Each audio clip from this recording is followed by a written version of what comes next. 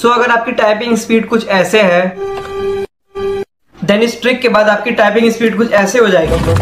सो so, आपको simply ये sentence type कर लेना। Quick brown fox jump over the lazy dog तो इस सेंटेंस को अगर आप लोग 10 से 20 टाइम्स टाइप करेंगे अपने लैपटॉप या कंप्यूटर में तो आपकी टाइपिंग स्पीड बहुत फास्ट हो जाएगी क्योंकि इसमें अल्फ़ाबेट का ए टू जेड लेटर आ जाता है।